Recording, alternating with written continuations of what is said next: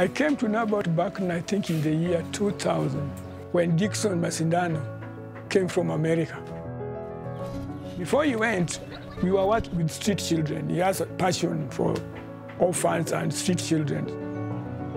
He came to America, came back with a program. He wanted parents who could take care of kids, foster parents. I was the first person to be in the program for Buckner.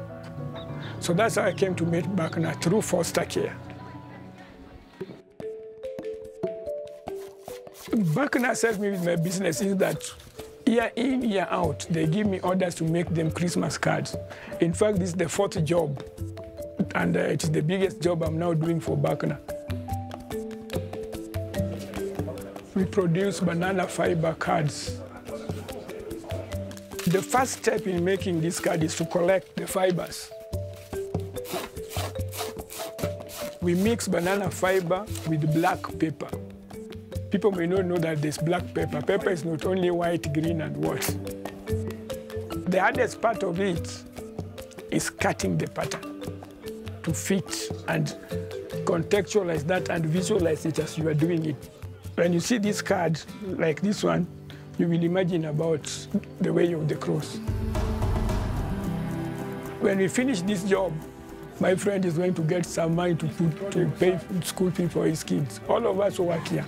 This job has touched our lives. My daughter, my last born, is not here. She's doing civil engineering at the University of Nairobi. I pay all her school fees with this. So it has really changed my life a lot. My sister passed away around uh, four years ago.